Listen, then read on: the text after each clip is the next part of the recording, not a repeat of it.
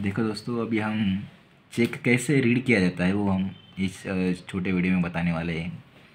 Check के अंदर तीन तरह के किरदार होते हैं। एक होता है ड्रॉवर एक होता है ड्रॉवी और एक होता है पेई हम हमेशा इस बारे में कंफ्यूज रहते हैं कि पेई कौन है ड्रॉवी कौन है ड्रॉवर कौन है।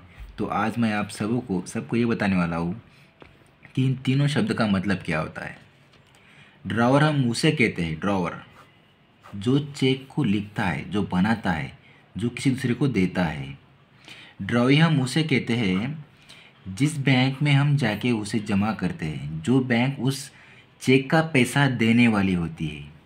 और पेई हम उसे कहते हैं, जिसे पैसे मिलने वाले होते हैं। तो अगर मैं चेक लिख के देता हूँ, मैं तो मैं रहूँगा ड्रॉवर अगर मैं किसी को दे रहा हूँ, मेरे दोस्त को तो वो रहेगा पेई मतलब जिसको मैं चेक दे रहा हूँ।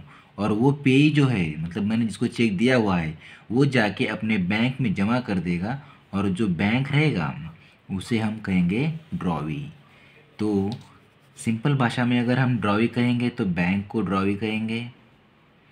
जिसे हम चेक दे रहे हैं कस्टमर समझ लो, उसे हम पेई कहेंगे।